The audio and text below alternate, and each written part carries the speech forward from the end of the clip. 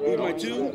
Who's my Z? They're running drills at Birney Crum Stadium. Here we go. But these players are a little older than you'd expect. I graduated in 92. Great! This is powder puff for pancreatic cancer. Call it football, I've been preparing for this. soccer mom style. Oh, things hurt after practice. Little sore.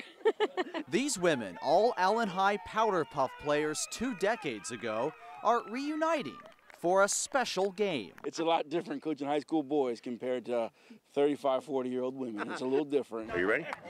Put the thing on. Had a girl. Let's just say 40 year old women say and do what they want. You just pretty much go along with it.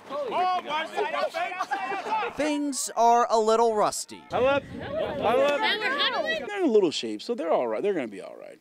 We look pretty good. I mean, we're not terrible.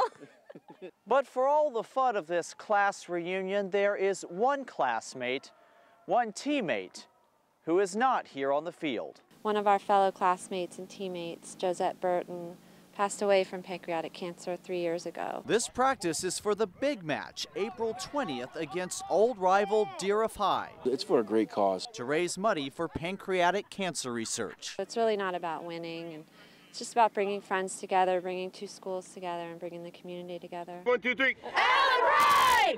Pride against a foe far bigger than the football field. John Craven, 69 News.